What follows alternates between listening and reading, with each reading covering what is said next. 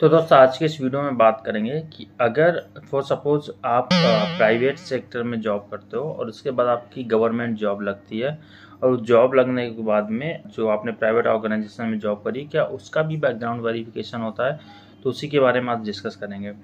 तो दोस्त, मैं आपको बता दूँ कि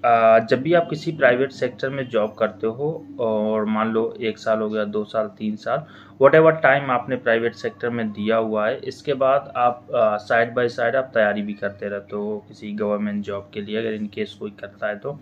तो उसके बाद क्या होता है कि अगर आपका गवर्नमेंट जॉब में सिलेक्शन होता है देन इसके बाद जब डॉक्यूमेंट सबमिट करते हो तो आपके नॉर्मल डॉक्यूमेंट्स तो चेक होते ही होते हैं, जो गवर्नमेंट की पॉलिसी है या जो गवर्नमेंट का बैकग्राउंड वेरिफिकेशन होता है, आपका Aadhaar, PAN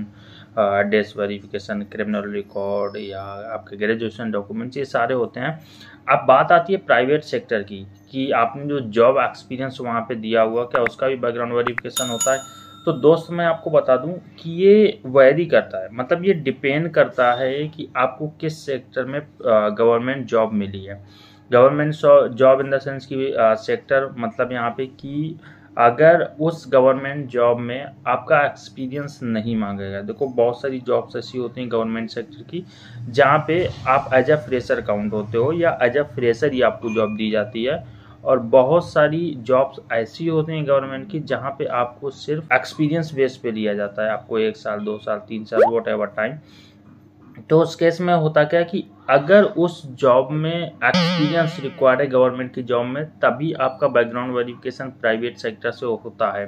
अब प्राइवेट सेक्टर से जो नॉर्मली बैकग्राउंड वेरिफिकेशन प्रोसेस होता है जैसे आप प्राइवेट सेक्टर में जॉब पाने के लिए आपका बैकग्राउंड वेरिफिकेशन होता है, ऐसे ही गवर्नमेंट सेक्टर से भी आपका नॉर्मल बैकग्राउंड वेरिफिकेशन होता है। वही आपका बैंक स्टेटमेंट हो गया फॉर्म सिक्सटीन हो गया पीएफ डिटेल हो गई आपकी और इसके बाद में आपका जो पी एफ़ में पासबुक वगैरह आती है, वो प्रॉपर शो हो रही कि नहीं? और उसमें एक पॉइंट होता है डेट ऑफ़ एंड वो प्रॉपर मेंशन है कि नहीं है आपकी प्राइवेट सेक्टर का? तो ये कुछ पॉइंट्स हैं जो डिस्कस होते हैं गवर्नमेंट सेक्टर में बट ये सिर्फ़ उसी केस में होता है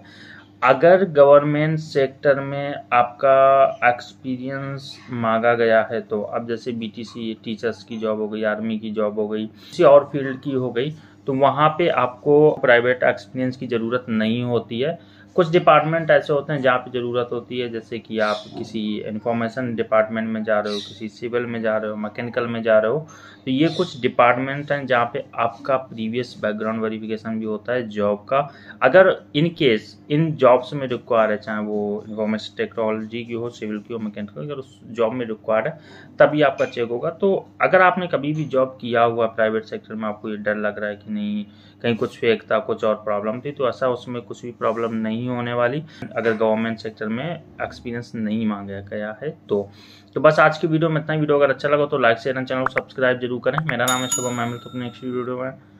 Till then have a great moment and don't forget to like share and subscribe thank you so much for coming year